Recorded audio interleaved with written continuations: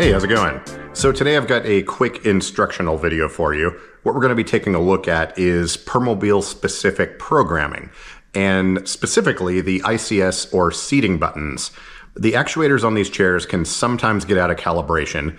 That'll happen if you replace an actuator or if one of them is moved when the chair is off. Or for example, if you sleep in your chair, sometimes they'll drift a little bit while the chair is powered off. Now, the auto calibration is something that should not be performed under most circumstances, but I got a lot of questions from people asking about how to do this, and I figured making a video about it would probably be the easiest way.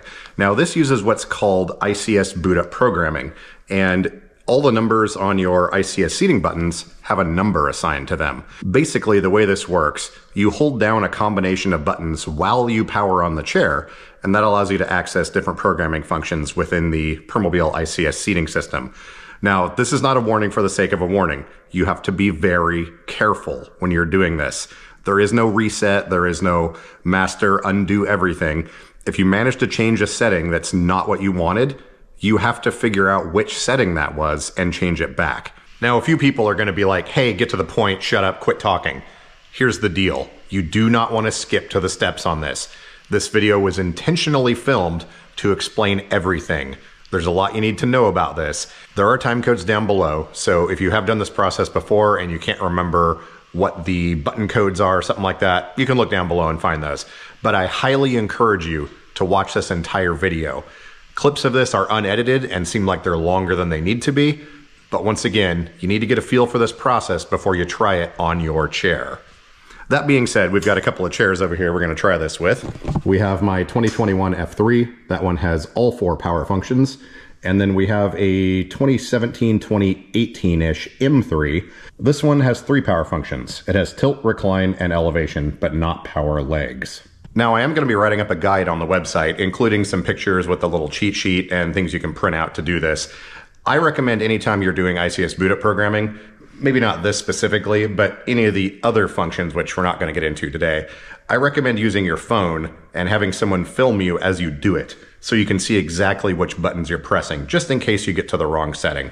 Now, the way the seating actuator system works on a Permobil Seems like a bit of black magic, but it actually simplifies things quite a bit. I'm going to link the video up above and down below to Shop Class Episode 1, and that will explain kind of why things are the way they are. Basically, these actuators, whether they are smart or not, have positional awareness baked in.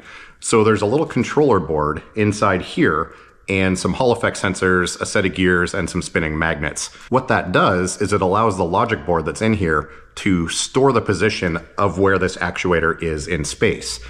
That enables things like memory positioning, and also you don't need limit switches. On a lot of RNet powered chairs, they'll have a limit switch at the end of travel on the top and bottom of whichever actuator it is, or they will simply crash the actuator, which means it'll go to full extension so it can't move anymore, which jams up the gears, and that causes a subsequent amperage spike, and the controller can detect that. But with limit switches or the actuator crashing or current sensing method, there isn't really a way to do memory positions. And also, this setup allows for an easier way for setting up the inhibits, where if your chair is in a dangerous position, like tilted too far back or elevated too far up, it'll slow the chair down a little bit. So that allows the seating system to know exactly where all the actuators are in space.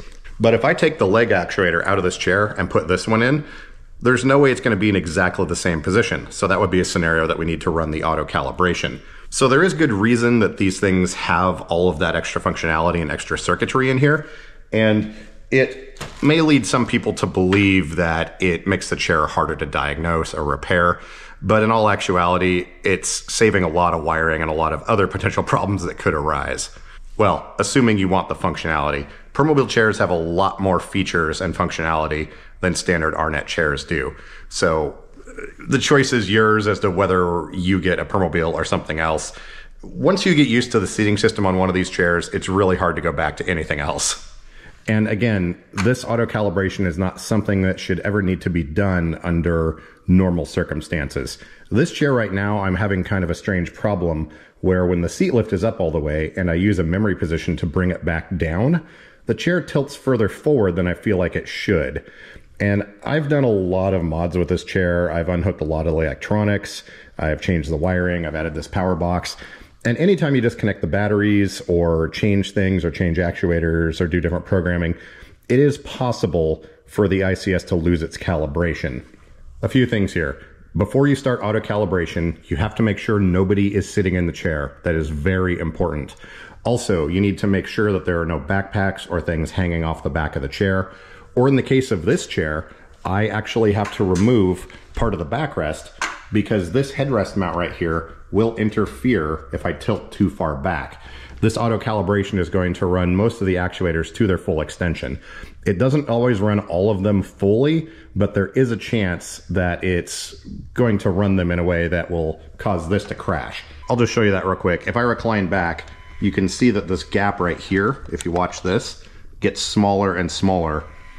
And those two parts will actually collide with each other long before the seat is completely flat.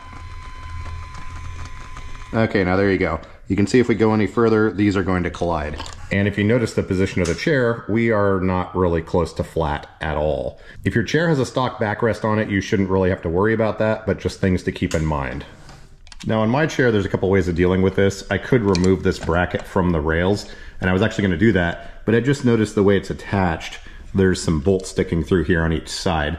So because I'm using the direct backrest seating adapter, I can actually remove the entire back from this chair without using any tools. If you have a stock backrest, this is not gonna be an issue. But for me, all I have to do is flip this little lever right here. Then I can pull the entire seat back and bracket adapter up off the chair, and now we won't have to worry about this thing colliding. As you'll see in a minute when we run the calibration on this chair, it's not gonna be an issue because it has a stock backrest. This chair has the seating toggles. These are gonna operate exactly the same as a chair that has the buttons. These are just easier to press for some people, but the button layout with each number associated with each button is going to be exactly the same. Now you can push these toggles or you can push down here either way. But when we look at this little cheat sheet here, you can see each button has a label and it starts here, one, two, three, four, five, six, seven, eight. Looking at this other chair here that doesn't have toggles, it's a little bit plainer to see. But basically just remember, even if you have the toggles, the button assignments are exactly the same. It just may be a little bit more confusing in your head to remember which buttons to press. Make sure also that the chair is in a position so that the leg rest can go out all the way and the chair can run completely flat without running into a wall or anything like that. If for some reason the chair is about to hit something and it's in the middle of the calibration process, you can just reach over and turn off the chair. It won't damage anything. You'll get a bunch of errors on the screen, but you can ignore those. You'll want to move it into a position to where it can fully extend everything and then start the process again. So we're going to start here by turning the chair off and we need to press buttons three, five, and six as we turn the chair on. So that's going to be this one, this one, and this one. So because I'm using the toggles, I can just do that with my fingers like this. But what I'm gonna do is press and hold those buttons. I'm gonna turn on the chair. And then when all these lights here turn green, I'll let go of the buttons, step back, and let it go through its process. Uh, can I reach this? There we go. Wait for all these to turn green. There we go. Now let go. You'll see we've got a little dancing uh, red light right there. Then to start the process, we want to hit button four, which is going to be right here. Now the chair is going to run a bunch of its actuators. It may not run all of them to full extension. It depends on what it decides needs to happen. You can see there the leg rests are going. You're gonna see some errors on the screen during this process. Completely ignore those. But we're gonna let the whole thing run for maybe two or three minutes, something like that, until we hear an excruciatingly loud beep coming out of the joystick. It may seem like it's not doing anything, but just wait and it will eventually do that. So you can see there it's running the legs up.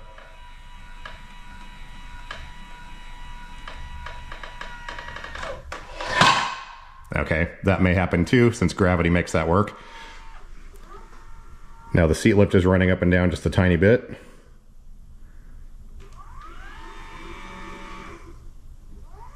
And here goes the backrest.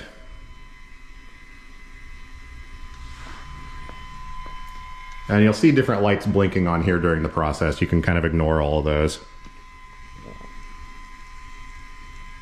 And here's the reason we removed that backrest because it would have collided by now.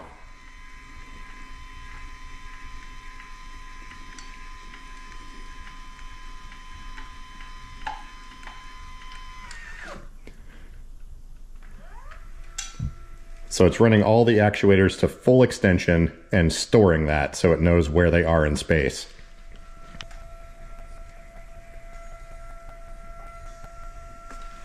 I'm going to swing the joystick out a tiny bit because I know that will interfere with the side guard when that goes all the way forward. Actually, I'm going to lift that up a tiny bit just so we don't collide. Okay, that's now all the way forward. Now we're getting some tilt and elevate.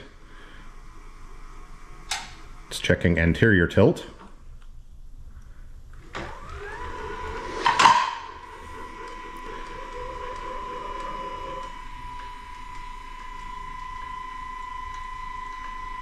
And we've got several actuators running at once.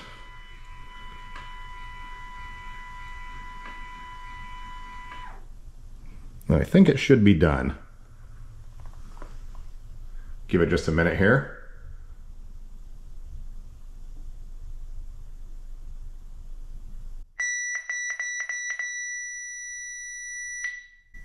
Oh, that's so loud. So once you get that beep, the thing is done. And in this case, we did not get any errors on the screen, so we don't have to worry about that. Now we want to turn the chair off. We'll give it maybe 10 seconds or so and then turn it back on.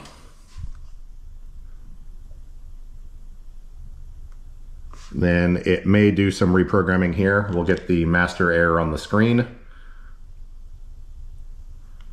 And then we'll power cycle it again once it starts doing this candy cane dance thing. And then turn it back on. And there we go. We should be back to normal.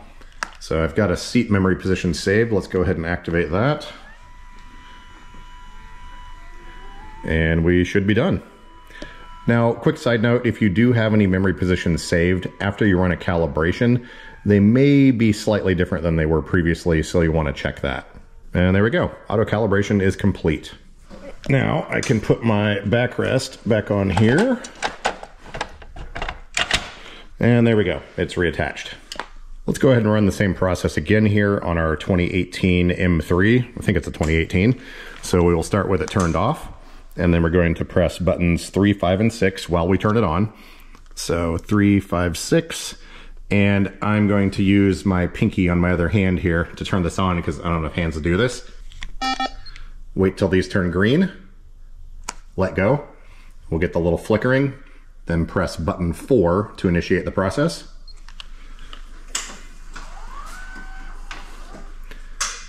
Now this chair doesn't have power legs, so the process may be a little bit shorter.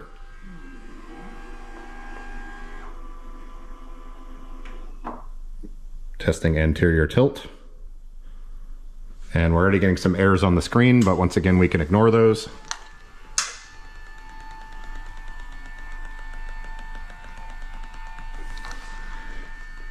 It's doing the recline now. And once again, this process may not be the same, even if you run it on the same chair at different times. It kind of has to do with where the chair starts and where it thinks the calibration is. It'll usually always, though, run the recline back all the way. I found that's something that typically always happens.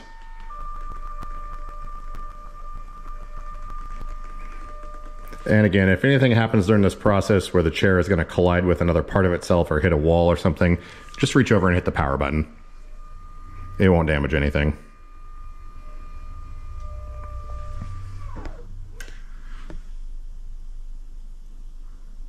And it'll pause like this occasionally. Looks like it's very slowly actuating the tilt.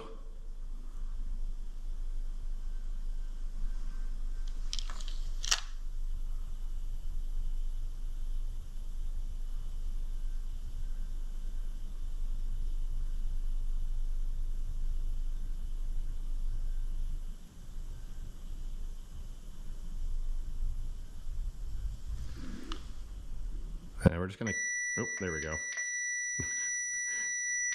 I was gonna say, just keep waiting. It will happen eventually. Now we're kind of in a weird position here, but let's turn it off. And it's important to turn this off before you make any seating position adjustments. So we'll turn it off, give it a few seconds, turn it back on.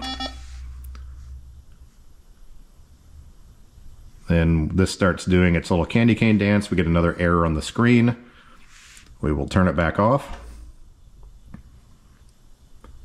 And then turn it back on. There we go. Looks like everything's back to normal. So we can go ahead and use our buttons here to get this back into a position that's not uh, insane. And there we go. Auto calibration is now complete on this chair as well. There we go. We've completed the auto calibration process on two different chairs with a couple different ear ranges. On the newer power platform chairs, I have not had a chance to play around with those yet.